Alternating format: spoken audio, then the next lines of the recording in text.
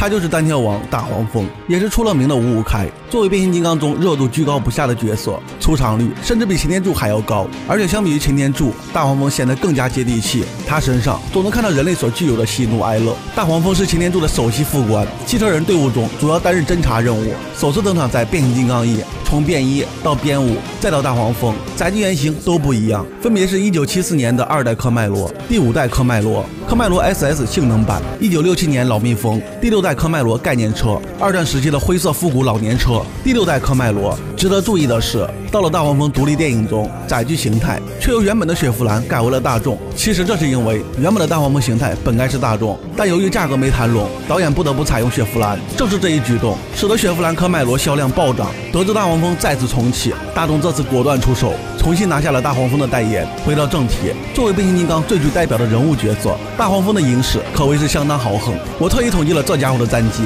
变异中狂虐霸天虎老六路障。抢夺火种原石，就算被轰断双腿，依然配合着人类击杀了吵闹。变二中，先是手持了趁势偷袭的机器狗，接着面对着看不懂形势的狂暴，一拉一转，一脚大腰子，狂暴就此凉凉。到了变三，纽约大战，大黄蜂差点被声波处决，危急时刻，霸天虎战舰故障掉落零大黄蜂抓住机会，一番精彩操作后，一拳囊穿声波，接着一炮轰出，声波就此下线。变四中，大黄蜂获得坐骑翼龙飞镖，两人配合下将。人造金刚独自就地斩首，当然脑壳也没浪费。不得不承认，变五中整部剧的亮点就是大黄蜂和暗天宇的那场战斗，这一仗可谓是酣畅淋漓。虽然最终战败，但也是靠着一声柱子哥，成功将擎天柱唤醒。随后在两人默契配合下，成功击退了最强反派造物主昆塔莎。大黄蜂个人独立电影中，他先是临危不乱，趁机击杀了追杀自己的霸天虎闪电。影片的最后，又先后斩杀了反射球和粉碎。综合下来，大黄蜂也就输了一把，不仅让人瞠目结舌，相信用心的粉丝发现了